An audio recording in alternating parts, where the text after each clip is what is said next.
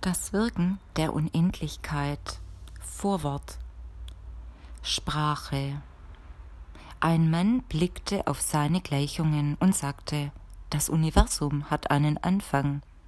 Es hat einen Knall gegeben, sagte er, einen Urknall, und das Universum war geboren, und es dehnt sich aus, sagt er.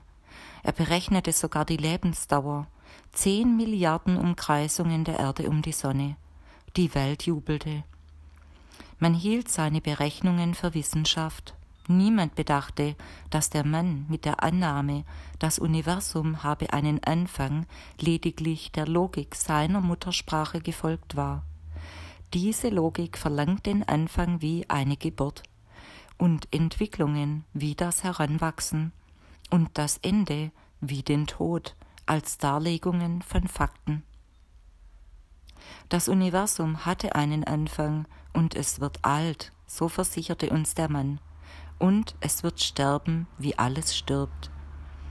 Wie auch er starb, nachdem er mathematisch die Logik seiner Muttersprache bestätigt hatte.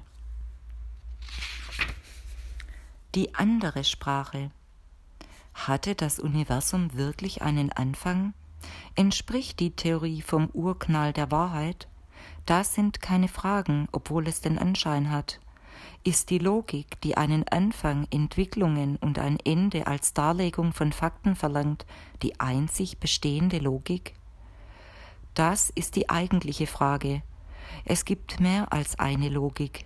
Es gibt zum Beispiel eine, die verlangt, dass man eine Vielfalt von Intensitäten als Fakten anerkennen muss.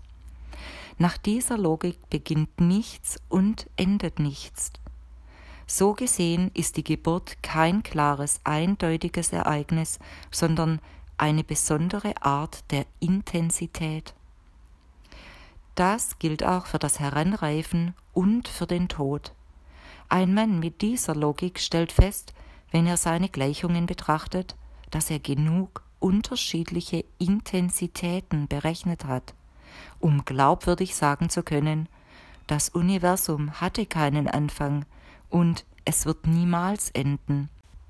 Aber es durchlief, es durchläuft und wird in Zukunft endlose Veränderungen der Intensität durchlaufen.